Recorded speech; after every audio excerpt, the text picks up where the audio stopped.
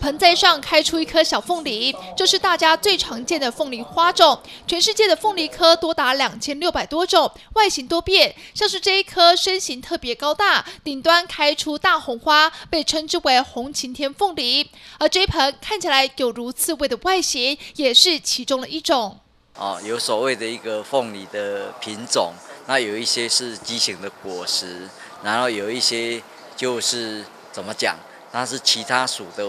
花，但是它是最主要是它的苞片很漂亮，颜色可以持续很久。那真正的花，它的寿命都很短啊，所以它观赏的部分应该在植物学上叫做苞片。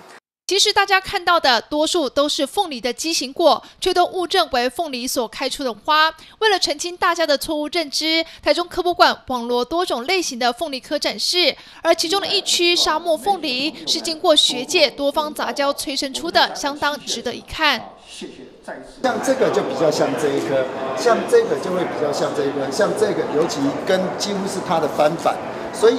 像我们在杂交的时候，第一代的时候，它会特别的不稳定，所以它产生出来的特征就会有个头，像妈妈或者像爸爸，或者是根本两者都不像，或者是啊，它两个都很像。观赏的凤梨依照这个栽培的习性哦，我们把它分成三大类哦，地生型的凤梨啊，积水凤梨，还有空气凤梨。那地生井里面。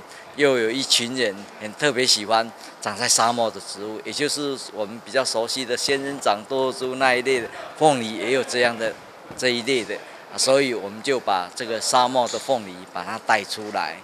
沙漠凤梨的适应力佳，少量水就能生存，但是因为身形多次，在市场上比较少见。这一档凤梨花特展，处处都充满惊喜。想要了解凤梨花的生态世界，科博馆就可以让你一探究竟。这林家话台中采访报道。